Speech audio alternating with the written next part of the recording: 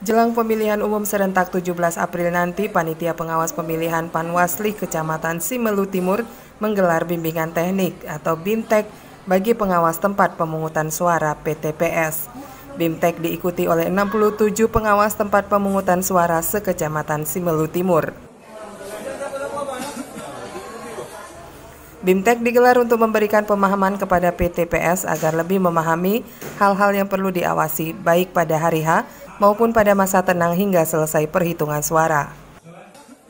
Divisi Pencegahan Panwasli Kabupaten Simelu Ahyar Julius mengatakan, setiap PTPS di seluruh kecamatan yang ada di kabupaten ini akan dibekali alat kerja berupa aplikasi sistem pengawasan pemilihan umum atau Siwaslu dan buku saku yang berisikan panduan-panduan pengawasan. Program Subaslu adalah uh, program aplikasi yang dibuat oleh Bawaslu RI untuk bisa uh, merekam ataupun mengetahui uh, pelaksanaan uh, pada masa tenang dan juga pada hari A.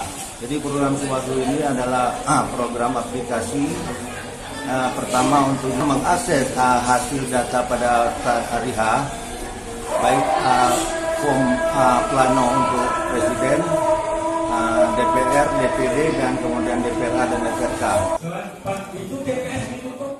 Dengan BIMTEK yang dilakukan, diharapkan seluruh PTPS di seluruh TPS Kabupaten Simelu paham dan bisa menggunakan aplikasi tersebut dengan baik dan cermat dan bisa bekerja dengan baik sesuai ketentuan.